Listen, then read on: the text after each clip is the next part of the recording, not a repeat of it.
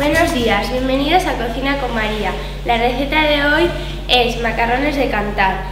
Los ingredientes son macarrones, sal, aceite, una nota musical, una caricia y tres besos. La elaboración es, coges una cazuela, le echas los macarrones y el aceite y lo dejas cociéndose. Después de que se cueza, le echamos una caricia y una nota musical. Lo dejamos otros dos minutos cociéndose. Le echamos un beso, un poco de sal y lo revolvemos y lo dejamos otros tres minutos cociéndose. Después le volvemos a echar otro beso y un poco de sal. Finalmente le echamos el último beso y el último puñado de sal.